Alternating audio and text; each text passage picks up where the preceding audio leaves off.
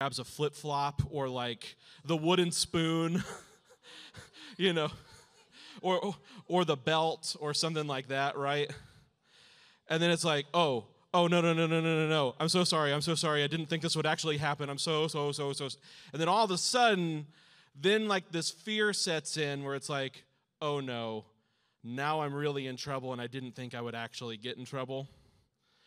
And so there's a there's a particular um, an anime series. Shout out to the weebs out there.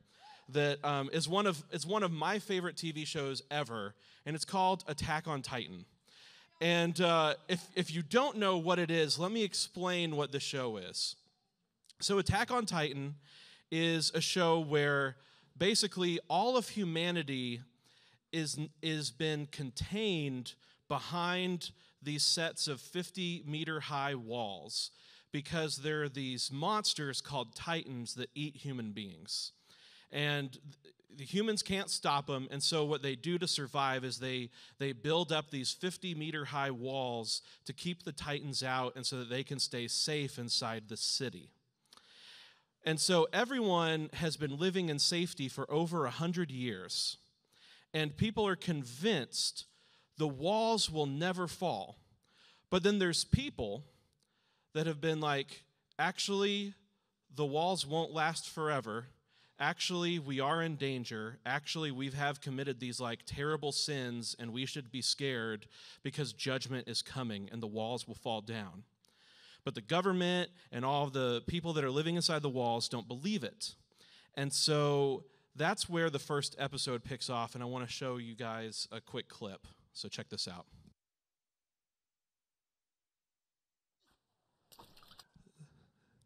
People for 100 years had been living in safety, claiming no one will ever destroy the walls, we will be safe forever.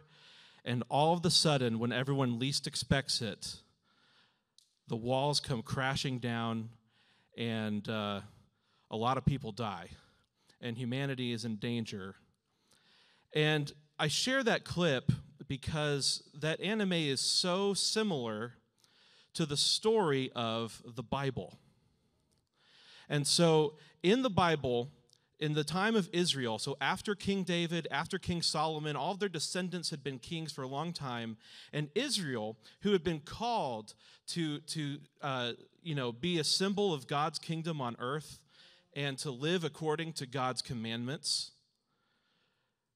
over years they had started to slip and they had started to fall into sin over and over and over again. And the kingdom was just getting worse and worse and worse. And all the while, God's prophets are speaking to Israel, saying, If you keep doing this, an invading nation is going to come.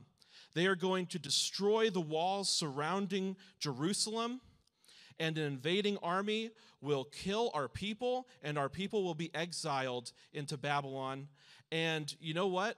Israel said, Nah, it's never going to happen. They didn't listen to the warnings of the coming judgment. And sure enough, we know from history, judgment came.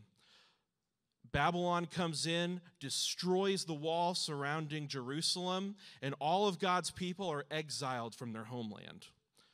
Thousands of people are killed. And the prophet Zephaniah was prophesying that this exact thing would happen that people needed to be warned and prepared for God's day of judgment. But see, thousands of years later, we can look at the story and say, what about us? Have we heeded the warning? Are we prepared for the day of judgment? Or are we like the people of Israel that say, no, that's never going to happen?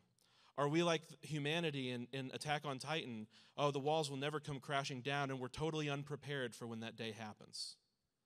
So, how can we be prepared for the day of judgment? Well, the prophet Zephaniah, who was one of these prophets that was speaking to Israel at this time, Zephaniah chapter 3 is what we're going to read tonight. So, if you have your Bibles, you can turn with me to Zephaniah chapter 3. And what we're going to look at, we're going to look at God's judgment but then we're also going to look at God's delight, and then we're going to look at how we should respond.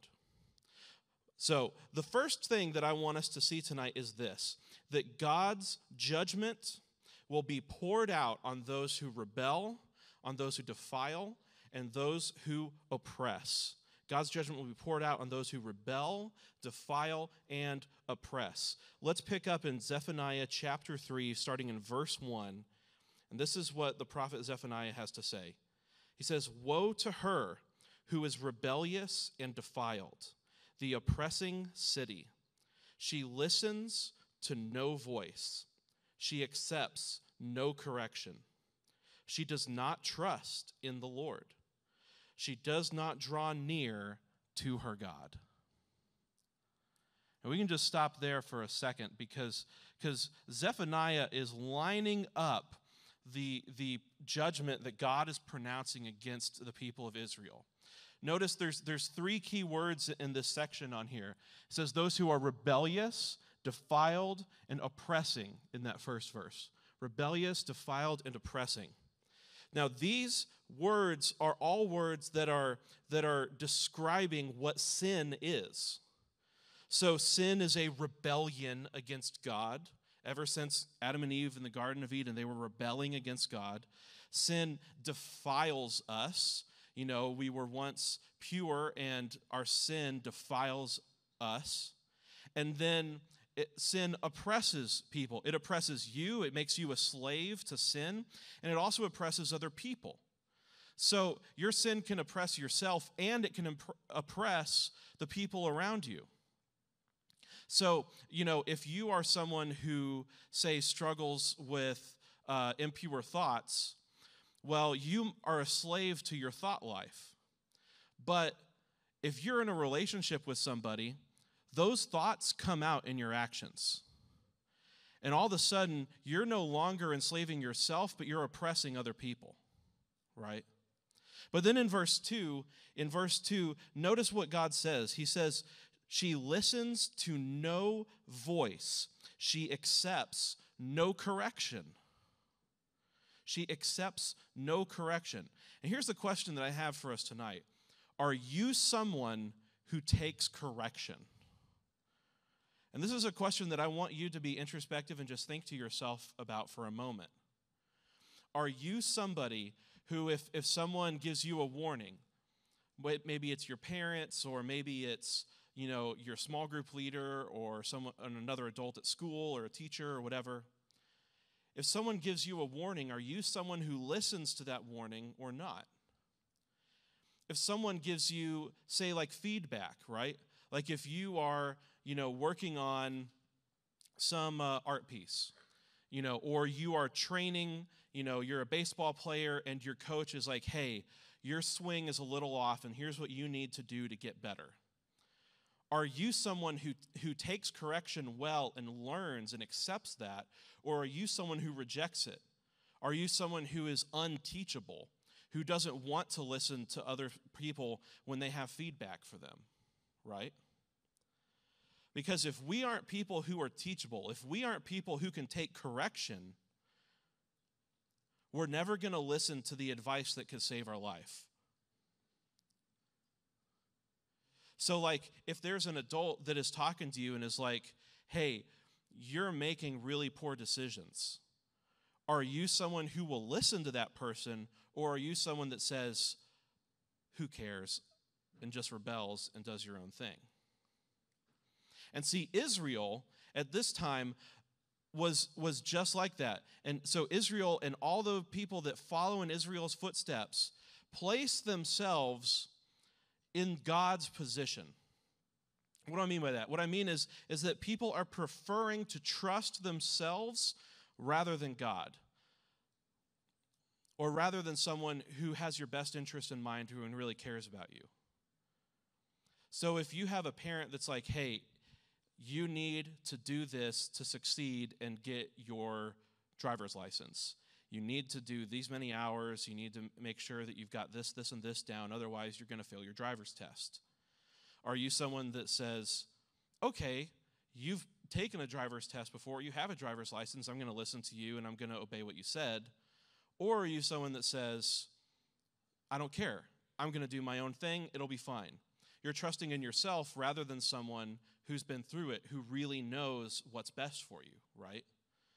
And in the same way with God, if we are people that put our trust in ourselves, so we look at God's word, or maybe you hear a sermon on Wednesday or Sunday morning, or you see a Bible verse that someone shares on Instagram, and you look at that and you're like, I don't know. I don't think that applies to me. I think I just need to keep doing what I'm doing. You're choosing to trust in yourself rather than trusting in God, right? You're putting yourself in God's position. So, I mean, kind of a silly example that I have of this is like um, trying to trust myself. I was, uh, when me and my wife moved into our apartment about a year ago, I got these like hanging wall shelves that like they just drill into the wall so you don't have a bookshelf, you just have like a floating wall shelf. And, um, you know, I had this idea of, okay, I'm going to get two of them and put them right next to each other so it'll be an extra long shelf so I can put, you know, more figures or whatever on there. And, um, you know, I had my whole plan laid out and like I wanted to do it on my own and I didn't want help. And so I get the first one in. It was kind of difficult, but I got it. I'm like, great. Now I just need to get the second one and just line it up perfectly. And I do all my measurements. And Katie's like, Do you need some help? And I'm like, No, I'm good. I got this. And then I, you know, drill the holes in the wall. And I tried to like lower the shelf in. And it's like hitting up against the top of the other shelf right next to it, like chung, chung. And I'm realizing, oh my gosh, I am like less than a centimeter off, but I've already drilled holes in the wall. and now these shelves won't work. So now there's actually eight different holes in my wall where the shelf is because I didn't want help, because I didn't want to trust someone who knew what they were doing and I wanted to do it myself. And, you know, when we move out here in a couple of months, it's, you know, going to be difficult to get those all fixed up. Do you trust in yourself or do you put your trust in God? The second thing that I want us to see is that God's delight will be poured out on those whom he has redeemed. So we talked about God's judgment first, but here God's delight will be poured out on those whom he has redeemed.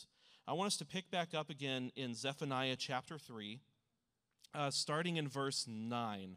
And here's what it says For at that time I will change the speech of the peoples to a pure speech, that all of them may call upon the name of the Lord and serve him with one accord.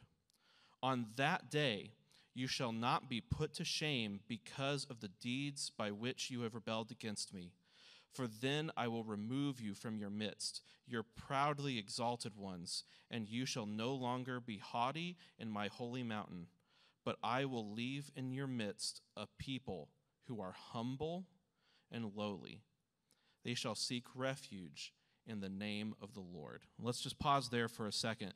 So here's what God is saying God is, has been pronouncing judgment against Israel, but he wants he doesn't want to commit an act of judgment. He wants to delight in them, He wants to redeem them. God's desire is not for judgment or to destroy, but it's to purify them and to redeem them. And so, in, in, in these verses that we just read, God is saying that He's looking for people to humble themselves. That, that this judgment that's happening is not this judgment that's just to destroy people and, and let them, you know, that's just it. His judgment is like, is like putting a flame on a piece of gold that has all this dirt and all this excess rock and whatever that's on it because the gold needs to be purified. And God's judgment is not to just destroy, but to purify them. And so he's looking to, to humble them. And then it picks up in verse 13. In verse 13, he says, Those who are left in Israel, they shall do no injustice and speak no lies, nor shall there be found in their mouth a deceitful tongue, for they shall graze and lie down, and none of them and, and none shall make them afraid. And so, what God is saying here is this that the redemption that is coming in light of this judgment, the redemption results in changed behavior. So, God redeems us, He changes us, so then we can live differently. It's different than other religions where you have to work at it. And you've got to make sure that, that you check all the right boxes and that you do all of the religious rituals and that, that you do all of the right things and stop doing all the bad things, and then you can be saved and redeemed. God's message is I will redeem you, and then you will change. God's redemption results in a changed behavior. And then he picks up in verse 14, and let's continue reading here. Verse 14 it says, Sing aloud, O daughter of Zion, shout, O Israel. Rejoice and exult with all your heart, O daughter of Jerusalem.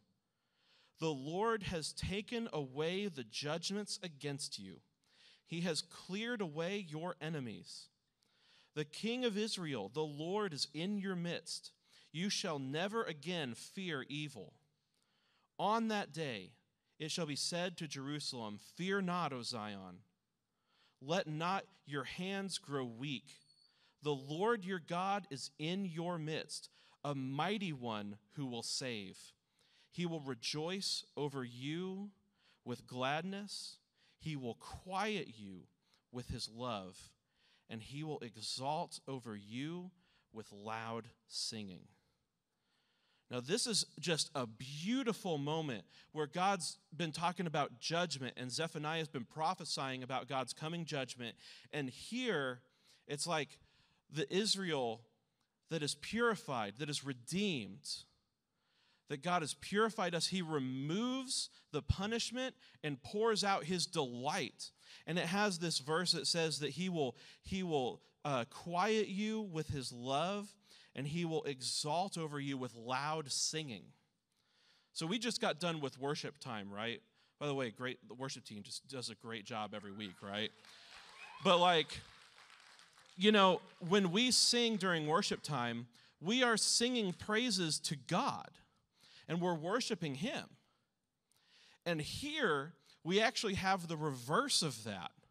We have God delighting in us it's like we sing something to God, and then God is like singing over us, that He's singing not only with us, but to us. It's this idea of like, you know, if you've got like a, a cheesy romantic comedy thing, and then like, you know, the guy is trying to win the girl and he like sings her a song at the end or something, and it's this love song. And that's the image we have of God. That it's, it's that the image is no longer you know, the invading army that's going to destroy the wall and people are going to die. The image is that God loves us and is going to sing to us. I mean, talk about opposite here. But it's just showing how much that God loves us. So his heart, his desire is not for judgment or destruction. His heart is for love and redemption. And then Zephaniah closes with the last two verses in verse 19.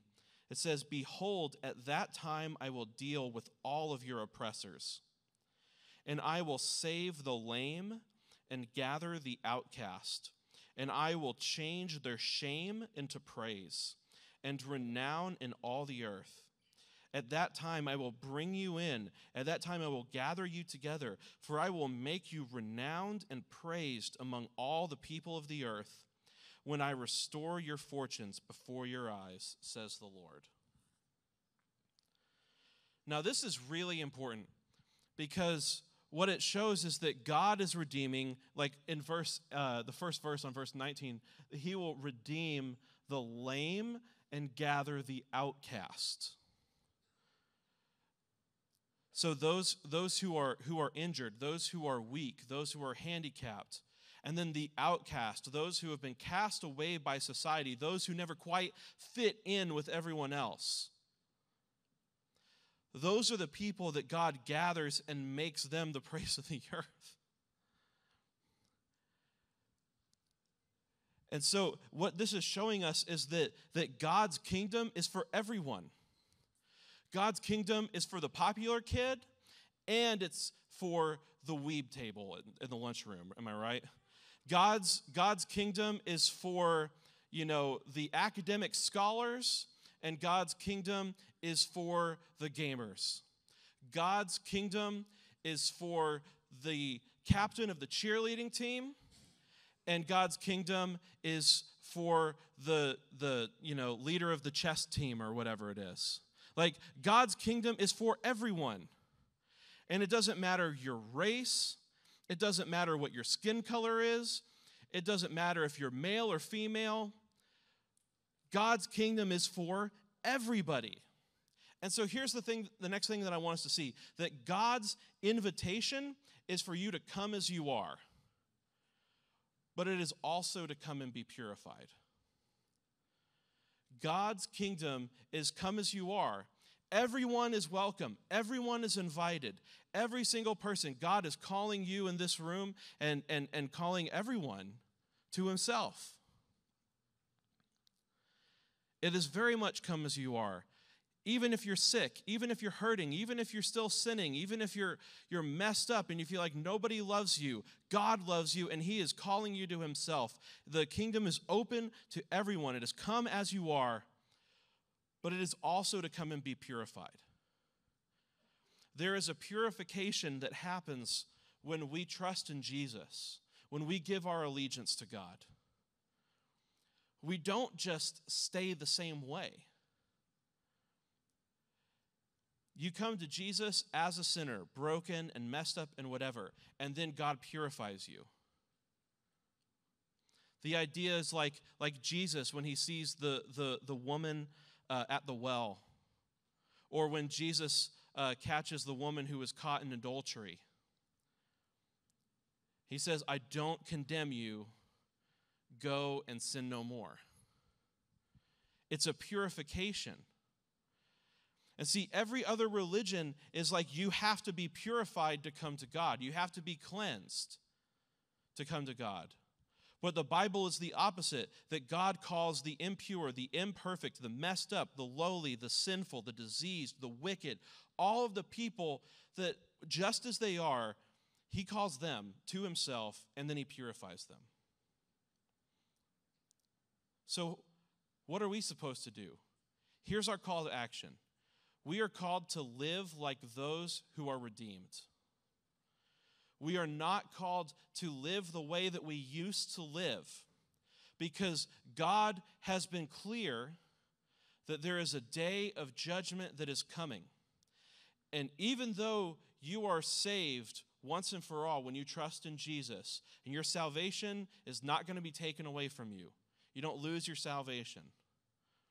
But there is still a day when we will all stand before God and give an account for what we have done. We will stand at what's called the Bema seat, at the judgment seat of Christ. And he will ask us, What did you do with what I gave you? What did you do with the redemption that I purchased for you with my blood? What did you do with the gifts and talents and the opportunities that I gave you? And there is a day of judgment. So we are called to live like those who are redeemed and not keep living in, in our sin, in our impure ways, to not go back to lying all the time, to not go back to rebelling against our parents just because, but to live like those who are redeemed. So here's the thing in, in Zephaniah 3, God talked about uh, rebellion, defilement, and oppression. And here's the deal rather than rebel, we should obey. Rather than rebel, we need to obey. And so the question that I have for you is, is how is God calling you into further obedience?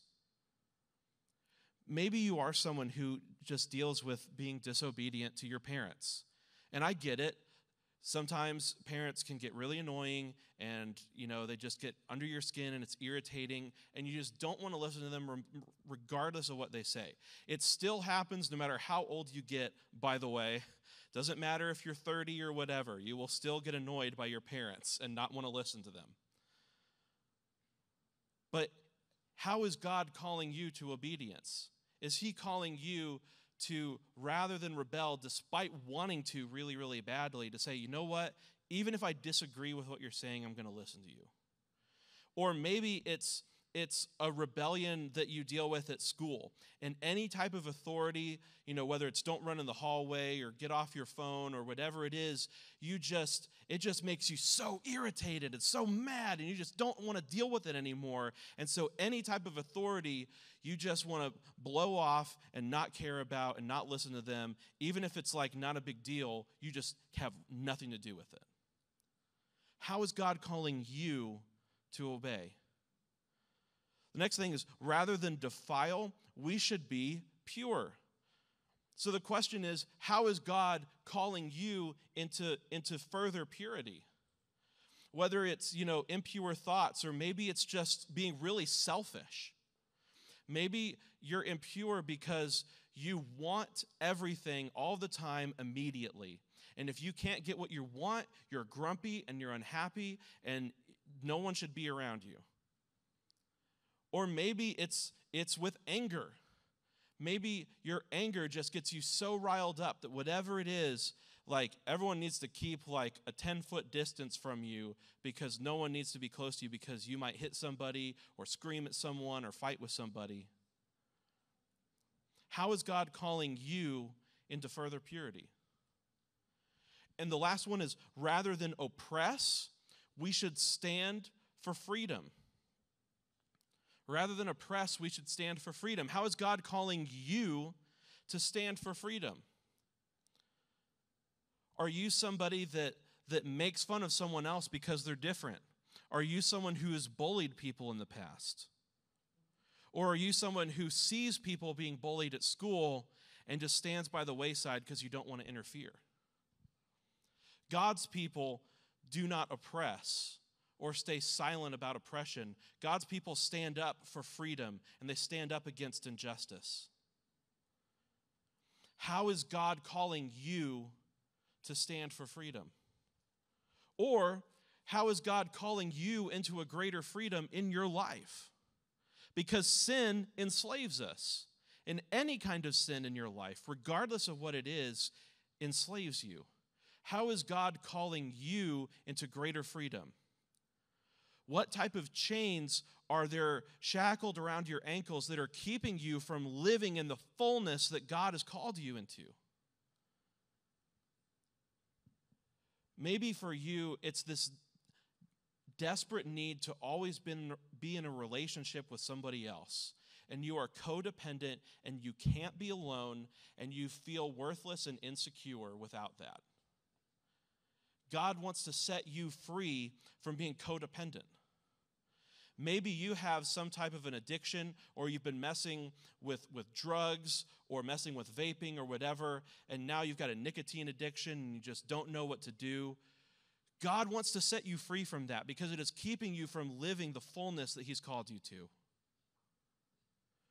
So we are called to live like those who are redeemed. Rather than rebel, we need to obey. Rather than defile, we need to be pure. And rather than oppress, we should stand for freedom. We should live in freedom. But here's the deal God is going to bring his judgment of sin on the world. He is. That day of judgment is coming, but God is also using judgment to purify. And while there is like, you know, an ultimate day of judgment when Jesus will return, there's also times of judgment in our own lives when you got to pay the piper because you've been messing up and you've been living in sin, or maybe it's a secret or whatever it is, and eventually it comes out, and eventually you have consequences. No one ever gets away forever, no one avoids the consequences forever. There's always some story about some rich person in the news who, like, you know, even if it's like into their 60s and something comes out and it's like, oh my gosh, this person was a terrible person and they thought they were above the law and they were doing this for 60 years or whatever.